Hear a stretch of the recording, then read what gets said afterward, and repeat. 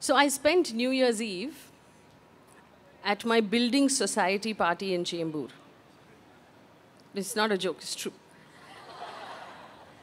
And this is not a story about my fall from grace from the cover of Vogue magazine to attending building society parties, although that would be a good story on its own. This was the most interesting event I had attended all year. And not just because there was a fashion show, because, guys, there was a fashion show. People of all ages from the building had taken time out of their lives to choreograph and practice one very elaborate ramp walking session. There were moms and dads and grandmoms and teens and some CFOs of some very reputed companies who were all striking a pose. And these guys had coordinated outfits and they'd done hair and makeup and they'd taken like this whole thing they did, which could have put any live televised event to shame. And my favorite part was that they were not doing it ironically. So for the young people, that means none of them were rolling their eyes when they were doing it. My favorite was the grandmoms. The grandmoms walked to a theme of weaves of India. They had worn saris from across the country, and they were walking the ramp for their neighbors with such pride that it elevated this party from its 2,000 rupee cover charge. But I digress. This is not the reason why it was interesting to me. It was interesting because one by one, the building uncles came up to me and told me to buck up. So, as you guys might know, I stopped being a mainstream television journalist a couple of months ago.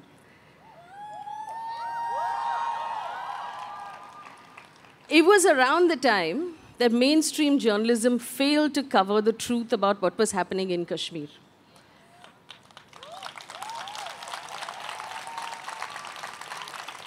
It was around the time that mainstream journalism failed to ask the right questions about farmer suicides, about the economy, about unemployment. It was around the time that mainstream journalism forgot to hold the government accountable for its actions. Coincidentally, around that time, I stopped being a mainstream journalist.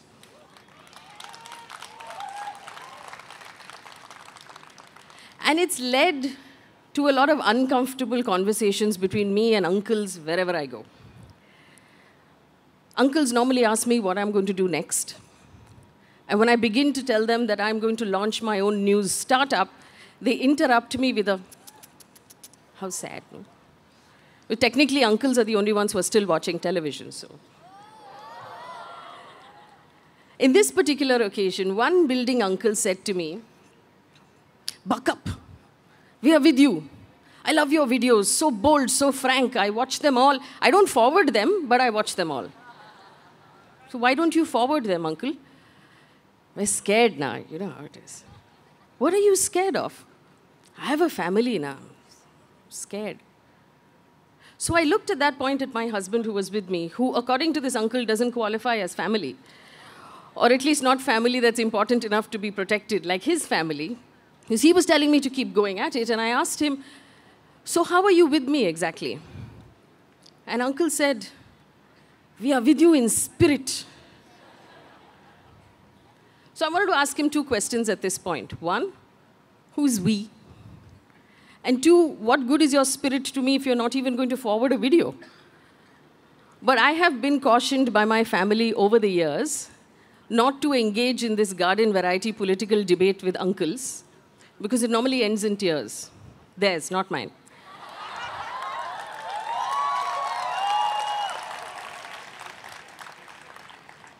So I've learned over the years to like smile and nod.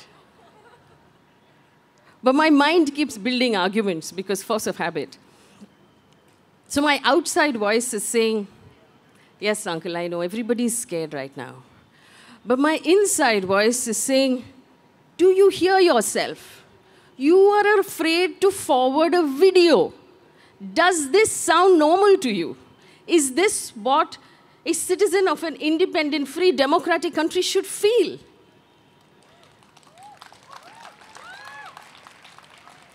Yes, uncle, I know. You run a family business. You have to be careful. Yes. So, people who run businesses, who have incomes, who have careers, who have reputation, who have something to lose or something to protect are silent right now. the biggest male voices in Bollywood are conspicuous in their absence and their silence because they have these big projects riding on their very buff arms and shoulders, right? Also, they make so much more money than the women, so they have so much more to lose. Corporate India is so afraid to tick off the government, they're worried their files might not move through North Block, and they will be punished into not making as much money as they're used to, so they're completely silent. So our streets right now are littered with human rights violations, with attempts to change the fabric of this secular country. Our streets right now are full of crime. And the people who have access to education and information and communication and platforms have covered those streets with a blanket of silence. When they came for Kashmir, there was silence. They came for Assam, there was silence. They came for Jamia, there was silence. They came for Uttar Pradesh, there was silence. They came for JNU, there was silence. Too much to protect, right? Too much to lose.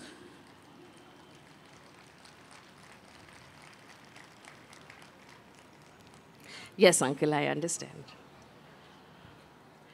That is true. Middle class people, why take panga now? We're middle class. Yes, I understand, I understand. That is true. So what about those people who are standing up right now? Kannan Gopinath, Kanhaiya Kumar, Varun Grover, Swara Bhaskar, Zeeshan Ayub, Deepika Padukone, Farhan Akhtar, Sandhya Mridul, Shah Faisal, who's still in custody, Shehla Rashid, don't these people have families to protect? Don't they have careers? Don't they have income? Do they have nothing to lose? Lakhs and lakhs of students in universities across the country. What do they have to lose? They have everything to lose. They have our identity to lose. Our identity as a secular democratic republic. Our Mile Sur Mera Tumhara identity, they have that to lose. That's more important than an income, or a career, or a reputation, or safety.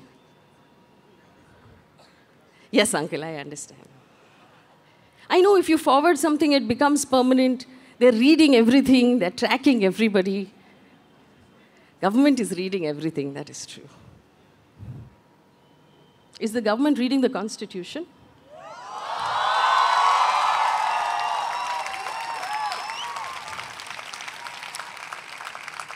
Are you reading the Constitution, uncle?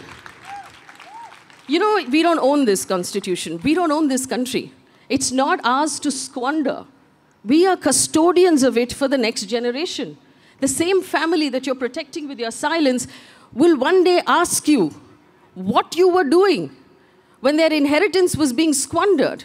History will ask for accountability, uncle. History will ask you, history will ask me. At this point, I had smiled and nodded so much. And I nod sideways because I'm South Indian. And uncle wandered off because there was a live pasta section in the buffet and he wanted to check it out. It was a very cool party. And I turned to watch the grandmas who were still walking. And they were replaced by preteens who came up onto the ramp. This party was not cool enough for the teenagers, these were 12 year olds. And when I watched them walk with the kind of optimism for the future that only very, very young people have, my outside voice was silent but my inside voice kept going. When history asks for accountability, this will be the answer. The grown ups, people with jobs and incomes and reputations and businesses and things to lose, sat down. The young stood up. The young who had nothing to lose and everything to lose at the same time stood to face the oppressor. The young stood guard for the Constitution through that cold winter night.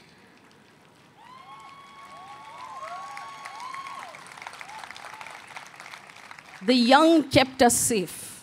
The young made sure that we have a country to hand over to the next generation. The young stood and fought. Uncle was with us in spirit. Thank you.